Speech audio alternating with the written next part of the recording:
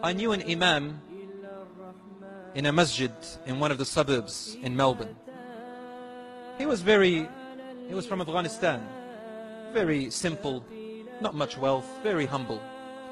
And he was the fourth imam of the masjid. See, some masjids we have, they, they rotate between several imams.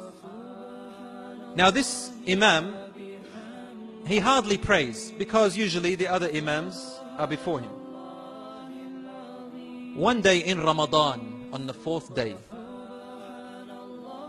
and let me tell you the hadith before I say the story. Rasulullah says, إِذَا أَحَبَّ اللَّهُ عَبْدًا عَسَّلَهُ If Allah loves a servant, He will sweeten him. They said, Ya Rasulullah, what does it mean to sweeten him or her? He says it means that before they die, Allah subhanahu wa ta'ala will beautify their actions and make them die on, on a beautiful death, with a beautiful end. So He beautifies his death, decorates their end.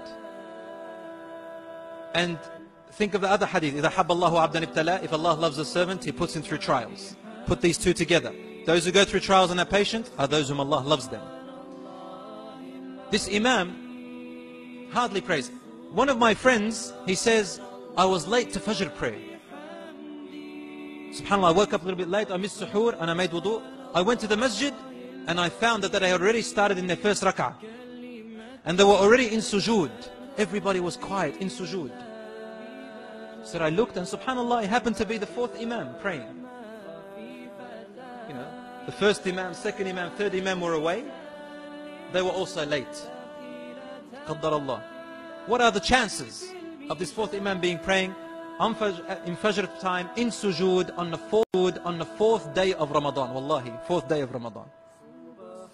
He said, I came, water's dripping from wudu, coming to join the prayers. Suddenly, he says, I noticed from entering into the masjid and getting into the line, they stayed in sujood longer than usual.